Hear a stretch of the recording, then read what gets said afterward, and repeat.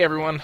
Um, so I wasn't really gonna make a video today or, or upload one, but uh, I thought I'd just upload or uh, make a Happy Thanksgiving uh, video just because, um, you know, it's Thanksgiving. So I just wanted to wish everyone a Happy Thanksgiving. Uh, be safe. Spend time with your family. Don't go out and Black Friday shop. It's it's not worth it.